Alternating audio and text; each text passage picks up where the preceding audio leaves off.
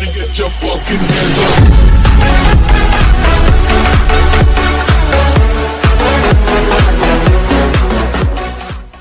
What is going on YouTube? This is Gavin 21202 aka Gavin Orlandi here bringing you all of the latest WWE news, rumors, headlines and updates.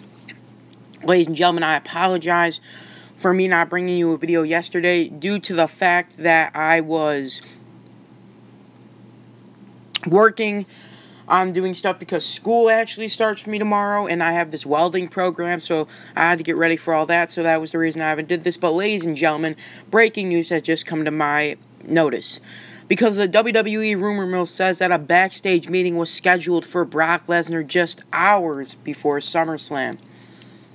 Ladies and gentlemen, as we know, Brock Lesnar will defend his WWE Universal Championship against Roman Reigns at SummerSlam this weekend, but there is a backstage meeting scheduled for Brock Lesnar just hours before the show, which could have a very, very huge impact on the outcome.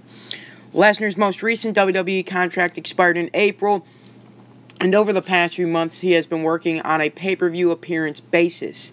Lesnar looks set to head back to the UFC following his match this weekend, but there are some reports suggesting that Lesnar could be looking for a deal where he can work for both companies at the same time.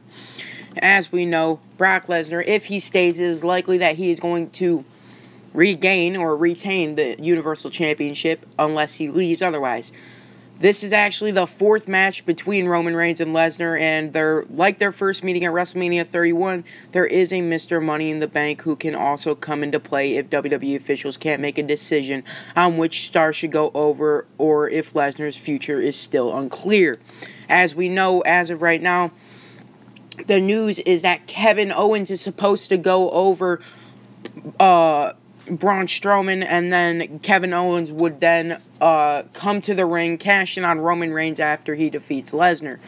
But, ladies and gentlemen, as we know, Lesnar's future could be decided in this meeting, and it appears WWE Universe will know the outcome of this meeting if he is able to retain the Universal Championship in the main event. So, ladies and gentlemen, as we know, SummerSlam takes place on Sunday night, August 19th, and we will see Brock Lesnar defend the Universal title against Roman Reigns and in the main event, ladies and gentlemen.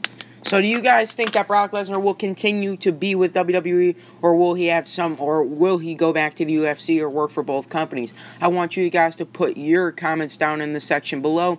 And in order for me to do, and if you guys keep doing that, I'll bring you all the news and the rumors and the headlines. Ladies and gentlemen, subscribe, and I love you all.